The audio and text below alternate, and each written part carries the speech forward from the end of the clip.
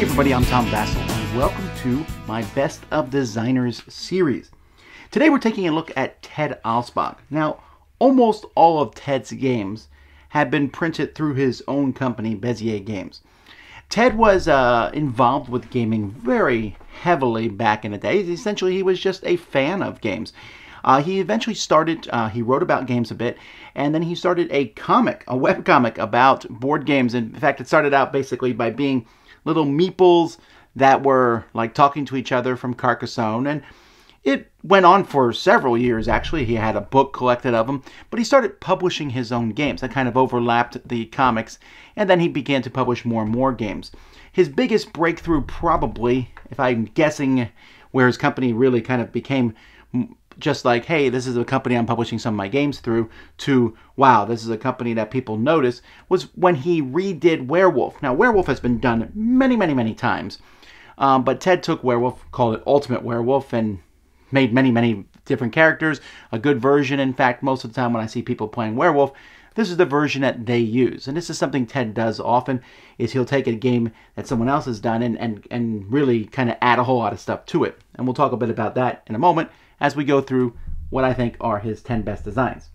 So number 10, I'm going to put in here One Night Ultimate Werewolf. Actually, I think One Night Ultimate Werewolf is an incredible game and is one of my favorite games, would be higher on the list based on that. But the fact is, is that One Night Werewolf already existed. He just added the ultimate and added a whole lot of stuff. Is the stuff he added good and excellent? For sure. And he's done this with several other games like America and things like that. Um, these are, are uh, mutant uh, mutant meeples where he took uh, uh, basically ricochet robots. I, I, like that sort of thing a lot. Uh, but so I'm putting One Night Ultimate Werewolf to kind of hold the place here that Ted is an excellent developer and has developed many games. But let's go back to games now that, starting with number nine, that are basically his design. Number nine is You Suck. Well, not you, but You Suck is a uh, trick-taking game uh, where the uh, there's ticks and everything. So that's the whole ha ha ha you suck. It's kind of a it's more of a pleasant trick-taking game. It's not you can't take it too seriously. You're just playing the cards, kind of just going with the flow in it. Number eight is Ticked Off. I think Ted likes these uh, names. Um, Ticked Off is a game in which you are picking a category and you're basically guessing how many things you can say in that specific category, and then a second category is revealed. And so there's a lot of party games that kind of do this thing. This one does it, I think, better than most because you're involved in every round no matter if you think you'll get the most or not. Number seven is Seismic. Seismic is, I think, the first game of his. No, it's the second game of his I played. Seismic feels kind of like Carcassonne with earthquakes. And as you're placing tiles and trying to control things, and earthquakes are going to happen, but the tiles aren't square. Um, it's kind of an interesting layout. It was an interesting game. I don't know that I would play it today, but it certainly was something that felt different when I first played it. Number six is Colony. Now, Colony kind of came and went. Colony is a really nice looking game, and essentially, Colony is you're going to buy cards, you're going to be rolling dice and using the, what you've rolled to buy cards, and then those cards are going to give you benefits to buy more cards. I didn't think the game was amazing. Um, I thought it was just decent, but a lot of people have liked this game, and it plays very easily and very well, and it also has a really great graphic design to it. Number five is Beer and Pretzels. This is a game that's really a simple concept. You are throwing coasters at a table. The coasters, I think, are the pretzels, and you're trying to get them close to beer. Um, back in the day, uh, when this game came out, most of the games that we today call fillers were called beer and pretzel games. Some people still do, because uh, they're the kind of game that you just play while you're drinking beer and eating pretzels, I guess. Um, so this is one of that style of games and it's just you're throwing it. You know, took the took the name of the game and we're gonna call it that. But I like dexterity games, and while throwing cards could be a pain, throwing round coasters works better. Number four is One Night Revolution.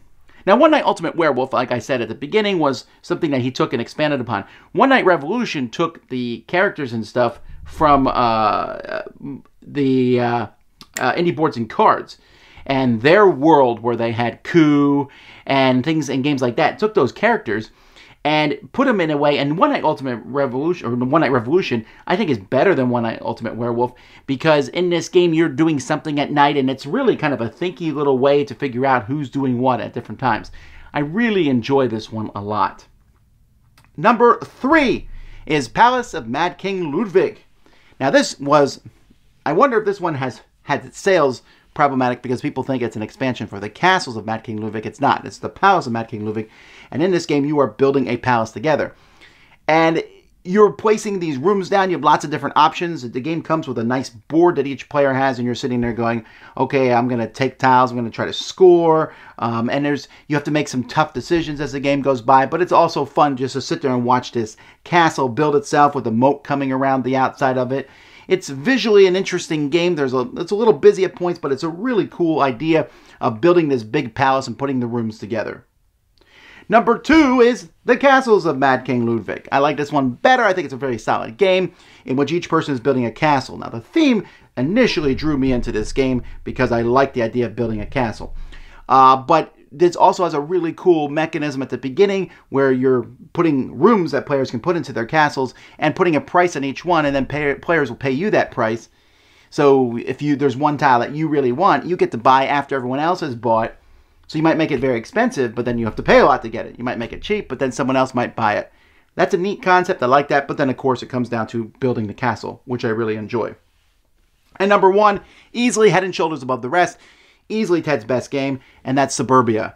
Suburbia is probably, I'm thinking, definitely the best city building board game out there. There's a lot of them. It's a very popular theme.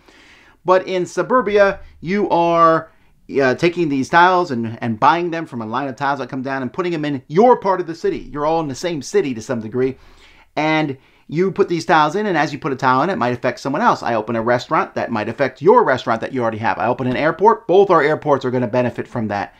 And this really cool idea of getting income and also trying to get people just to come to your city, it goes together in a very solid, wonderful game.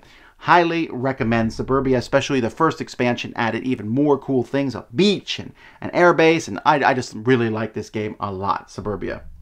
So those are my favorite games from Ted Alspach. What do you think? What are your favorites? Let me know in the comments below.